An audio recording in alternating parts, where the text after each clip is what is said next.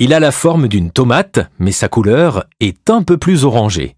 Ce fruit est originaire d'Asie.